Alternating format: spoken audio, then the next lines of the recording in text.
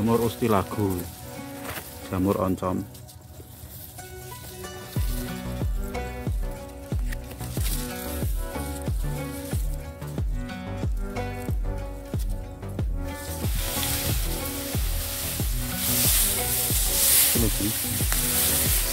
Air pelepas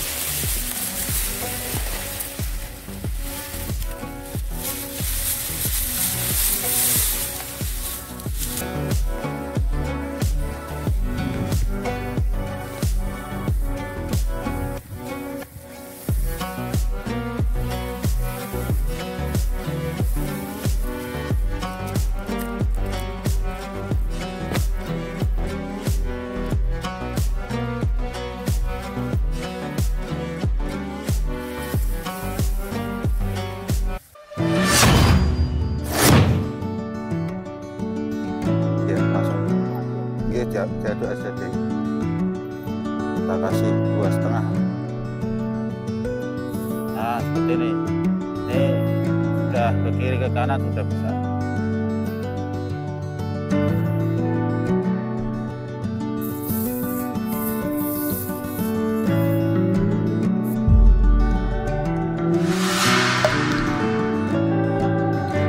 Mungkin teman tani ada yang tanya, padinya sudah proses pengisian, masih aja di spray ya. Padahal kayaknya kan sudah bagus ya. Jangan salah, jadi setiap tahapan perkembangan padi adalah penting untuk selalu kita perhatikan. Sebagian kita ada yang hanya pada masa vegetatif saja, ketika saat menghasilkan anakan sampai bunting saja yang selalu kita perhatikan. Dan saat masuk bunting, kita sudah santai-santai, jarang ke sawah ya justru mulai pada bunting ini perlu perawatan yang ekstra ya. Kalau tidak diperhatikan bisa sangat berpengaruh pada gabah panen nanti.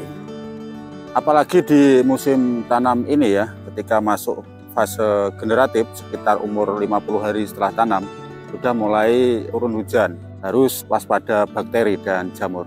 Ayo tak tunjukin, tunjukin sini.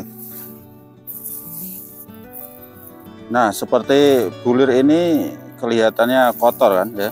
Ada lagi banyak ini. Dan bulir kotor ini seperti ada bercak-bercaknya. Juga di daun. Di daun juga banyak yang ada bercak-bercaknya bercak daun.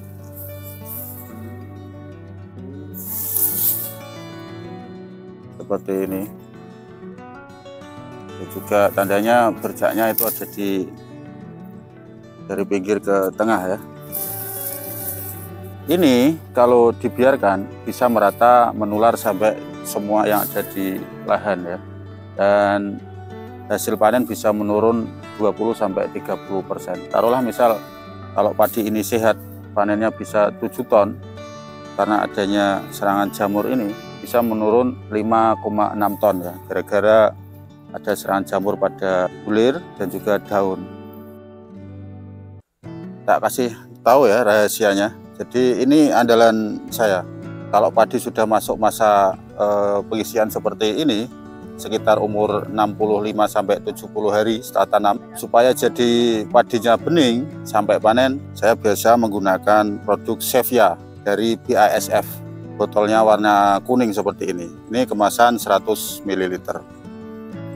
Nah, satu lagi yang penting di proses mulai pengisian bulir seperti ini, daun mempunyai peran sangat penting ya, apalagi daun bendera.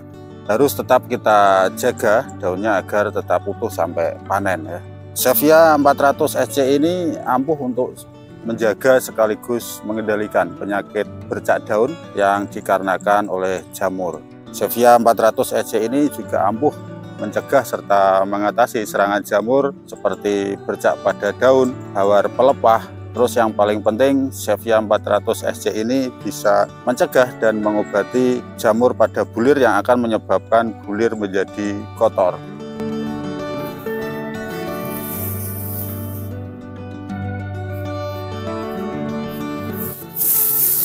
Untuk mendapatkan fungisida Sevia 400 SC ini sudah tersedia di toko pertanian terdekat ya.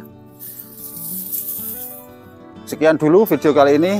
Pokoknya untuk urusan penyakit padi, bulir kotor, bercak daun, hawar daun pelepah, jamur oncom, saya selalu percayakan pada fungisida Sevia 400 SC dari BASF.